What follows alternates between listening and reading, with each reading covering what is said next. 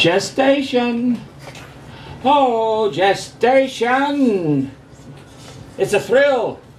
A thrill to know a part of ourselves, our essence, in fact, long ago, way, way back when we were more than young to know home, home was at one time in a man's scrotum. Yes, this happened. Our lives were lived in those glorious pendulums. And from there, we, well, we, we exploded out a, a, a sort of a strange cannon.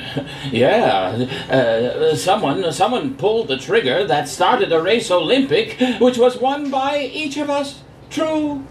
All individuals, every human here.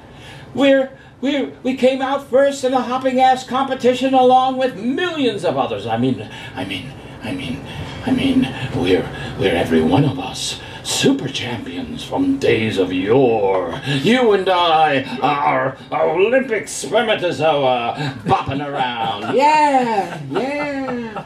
Now, after after that maniac climb upstream to numero uno, uh, what happened? What what occurred? The answer?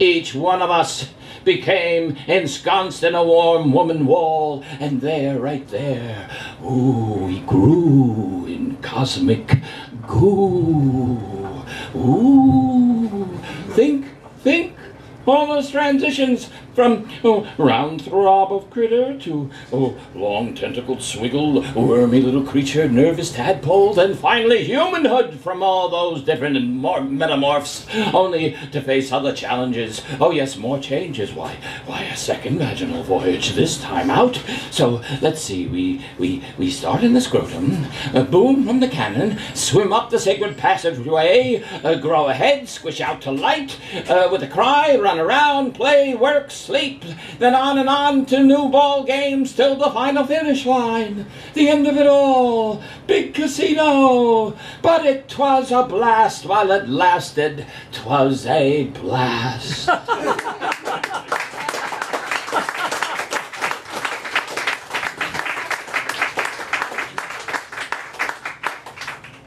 this, this, this place, this inscrutable platform right here and now uh, uh, is a slapstick whirly-go-round.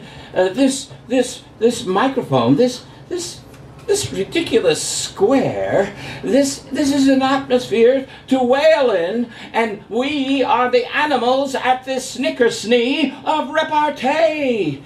It's the only way to a rainbow.